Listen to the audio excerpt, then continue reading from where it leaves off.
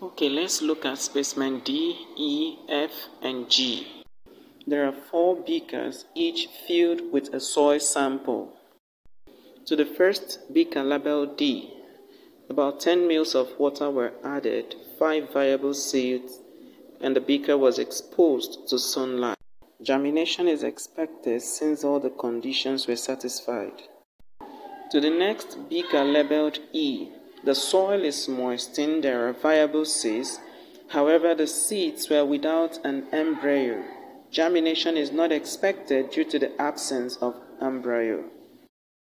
To the beaker labeled F, in place of water, enough kerosene was added, so we don't expect germination as water is required for germination.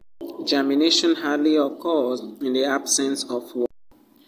The beaker labeled G contains soil that is very dry. It contains no water. Of course, we don't expect to see germination as water is one of the primary conditions required for germination.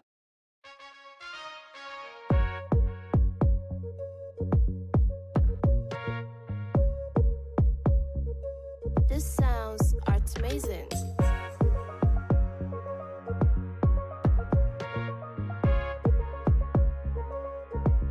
Oh